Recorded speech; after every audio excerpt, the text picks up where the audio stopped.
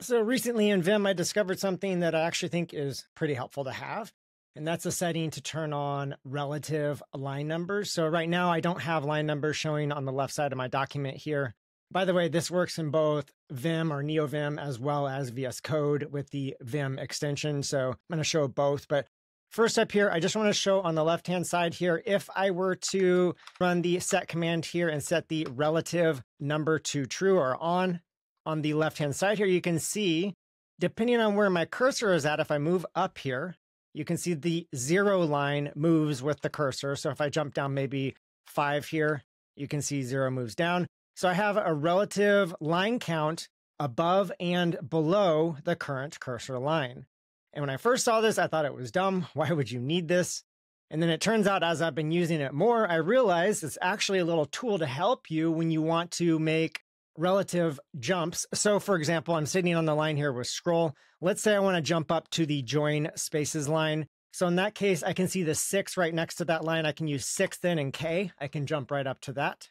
Or maybe now I want to jump down to the tab stop line, which is 12 below. So 12 and J. So anyways, I find this actually really helpful. I've been using it a lot lately and I find myself referring to this instead of just guessing how many lines to jump up or down. I can see exactly the line number that I want. Just type that in and hit JRK and I'm done. I'm on that line. No more guessing, no more being off by two or three lines, then having to hit KKK or JJJ to move those last few lines. Instead, I can jump exactly where I want to go. And the cool thing is, if you are a VS Code user and you like to use Vim and you've got the Vim extension, well, you can do the same thing in here.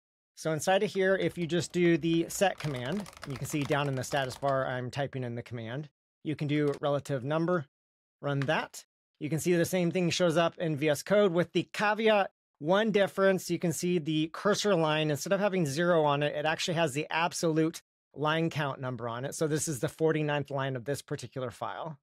And unlike Vim, you can't get that to change to zero. By the way, over in Vim, if you want to get that to show the absolute line count for zero, you can do that too. Just go ahead and set here and number is the option. And so yeah, over in VS Code, same idea here. If I've got the Vim extension, I want to jump up maybe to incsearch. I can just do five and then K. And now maybe I want to jump way down to wrap scan. I can do 16 and J.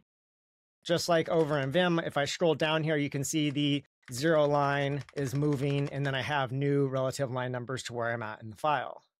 And then over on VS Code, I should say the setting, if you don't want to have to type in the command into the status bar, that's kind of hard to do. It's really small you can actually come into the settings here for VS Code. If you look for line numbers, this is actually an option built into VS Code's text editor itself.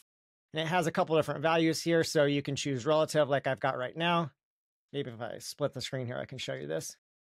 All right, so up on top here, I've got relative. So you got one, two, three, four. Here, you can also change this back to just regular old line numbers with on.